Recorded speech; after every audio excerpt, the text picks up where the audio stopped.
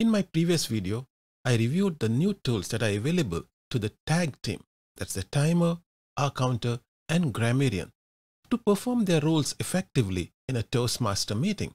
If you haven't already watched that video, link is in the video description.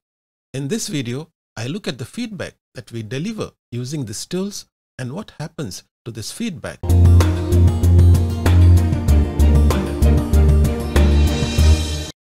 When you take up one of these three roles, that is the R counter, the grammarian or the timer, and use these new tools to perform your role, let's say a grammarian role, you would select the date and the club and enter the word of the day. Select the member whom you are providing the feedback, indicate if the person has used the word of the day, and provide your grammarian feedback. And then click on the Save button. You would repeat the steps for every member that you are evaluating. When it is time to present your report, you would click on the View Report and read out your report to the club members and you are done. The cool thing is all this feedback is saved in your profile and of the profile members that received the feedback. If you go to the meeting logs, you will find all the feedback that you have received and the feedback that you have provided. To check the feedback that you have provided, select the club, click on provided and you can see a log of all the feedback that you have provided.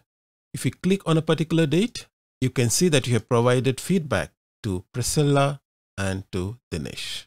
If you want, you can edit the feedback by clicking on the edit button and you can enter additional comments.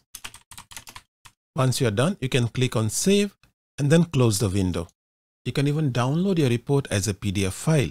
Click on the download option Select the date on which you had provided the feedback and click on the download PDF option. And your report is available to you as a PDF file that can be shared with others. In the same way, if you want to see any feedback that you have received, click on the received option.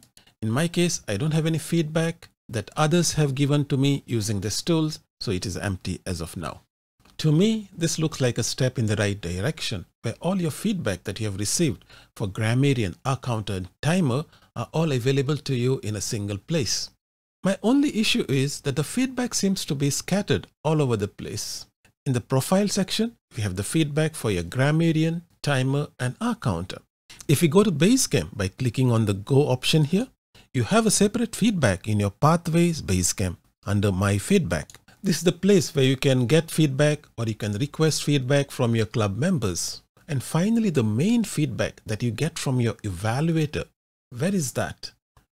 Ideally, you should store it in your e-portfolio under document section in the appropriate levels. For example, level 1. Then your feedback should ideally be uploaded and kept here. But most of us don't do that. So we have feedback in the profile section for R counter, grammarian and timer and then we have feedback in Basecamp. And finally, the main feedback that you receive from your evaluator. If all this feedback could be consolidated in a single place, then I think it would be a great tool for members to understand the areas that they need to improve.